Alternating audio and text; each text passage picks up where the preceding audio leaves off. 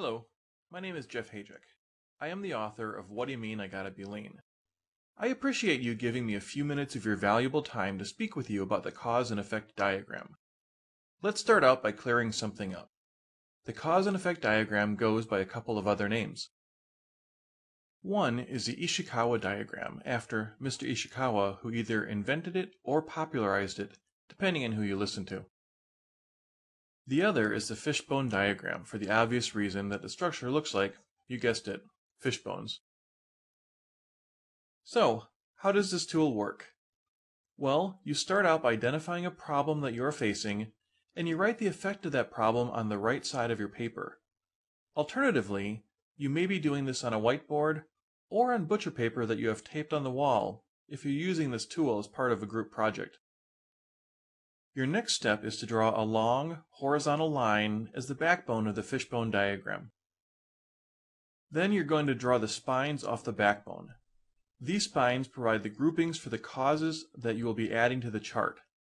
In the standard version of the shop floor fishbone, you'll see six spines corresponding to the six M's. The six M's are materials, methods, machines, measurements, Mother Nature, and manpower. You might, however, see manpower switched out with a more gender neutral word. In the office, you'll likely see the six P's people, process, policy, plant, program, product. These categories may vary. The whole goal is to start organizing your thinking and provide some structure to the problem solving process. Making categories helps in two ways. One, it helps you improve idea generation. Systems simply help you get more causes. 2.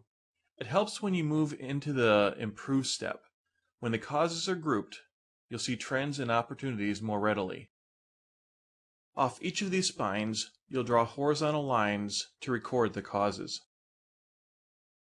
Let's talk for a minute about how you come up with ideas. Most ideas come from either a brainstorming session or from some sort of waste walk where you observe the process you're working on and record the causes of the problems.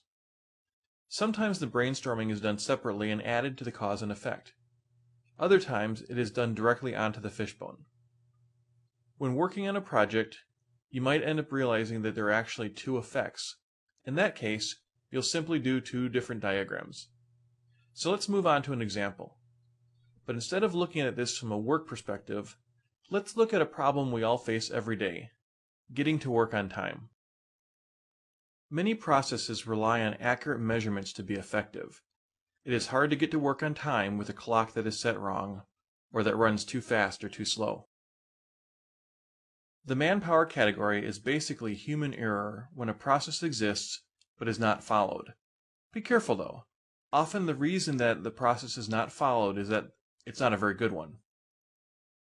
Snow on the highway affects your travel time. In your company, things like power outages, humidity, or a host of other environmental conditions play a role in problems. Machines are simply the tools of your trade.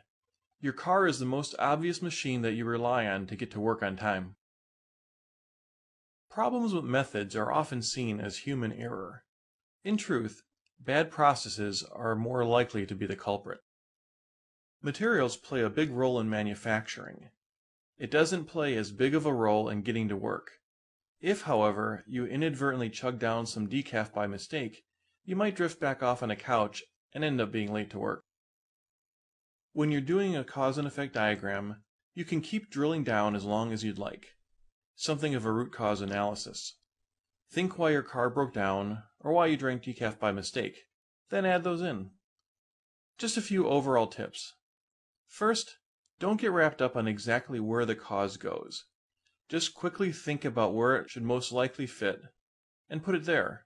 You can always move it later. Second, leave some space if you're doing this as a team exercise. It never seems to work out evenly. Some effects are material centric, some are susceptible to machine failure. You might not realize this until the exercise is underway. The cause and effect diagram can get sloppy in a hurry. At this point, you are now looking at a finished fishbone diagram that will help you move on to improving your process. So now let's do a quick wrap up of this presentation. One thing that most people forget, learning the tool is only the first step. It's used when a facilitator is leading an exercise, but a tool often gets filed away until the next big event. I think that's a waste. Put this tool to use routinely whenever it is needed. In my experience, the people who regularly use tools such as this one are the engaged, satisfied employees, regardless of their position in the organization. I think reading my book is a good step in that direction, but even if you choose some other guide, I still want to stress this point. Lean works best with satisfied employees who see what they can personally get out of Lean. Let me wrap up by saying thanks again for choosing Velaction for your training needs. More information on this topic and others is available on my website, www.velaction.com, located under our Lean Dictionary. I'm Jeff Hajek, wishing you best wishes on your Lean travels.